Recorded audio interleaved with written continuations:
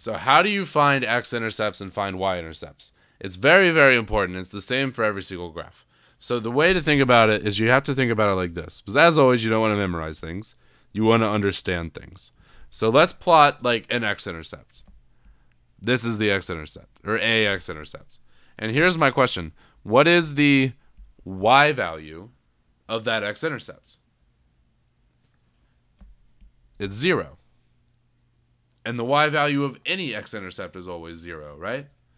So to find an x-intercept, how you find an x-intercept is you make the y value equal to 0 and you see what x would equal. And how do you find a y-intercept? The opposite. You make the x value equal to 0 and see what y would equal. And that's critical. That happens in any type of equation. That's not just like a linear equation, not just a parabola. That happens with anything. So to get an x-intercept, you set the y value equal to 0. To get the y-intercept, you set the x value equal to 0. That's every type of function you have. No matter what. Throughout like all 4 years of your high school, you should be doing that. So let's do that to graph this. So let's erase these theoretical intercepts that I drew and let's find the real intercepts. So first let's find the y-intercept first because it's easier. So like we just said, we're going to make the x value equal to 0. So 0 squared minus 4. And of course, when you're doing this on your own, you should be doing the minimal amount of written work as possible. That's always been my opinion about showing your work in math. You should be showing the minimal amount of work that you need to show to get it right. And other than that, you're showing too much work. So I'm going to show a lot when I'm here just to make sure that it's easier for people to understand.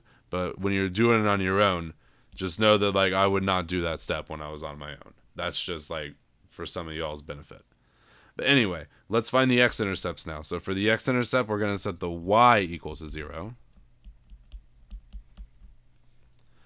And then we're going to solve for x. So how do you solve this for x? We've got a couple ways. My preferred way, to be honest, is to factor it because that's another critical thing that I'm sure has come up, but it's got to come up again because it comes up all the time. Difference of two squares.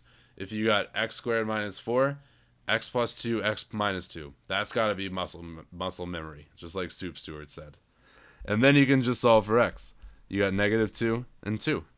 And so those are going to be the x values of the x-intercepts.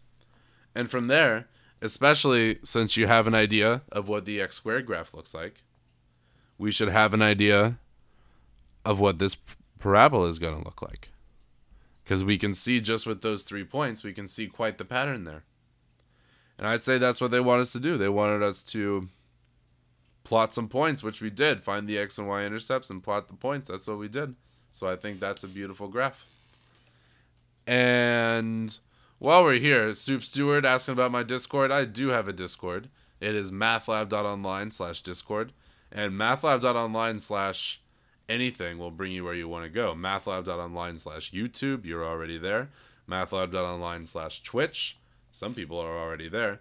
Mathlab.online slash TikTok, it's everywhere. You can find me anywhere. Mathlab.online slash anything. Or just Mathlab Jordan.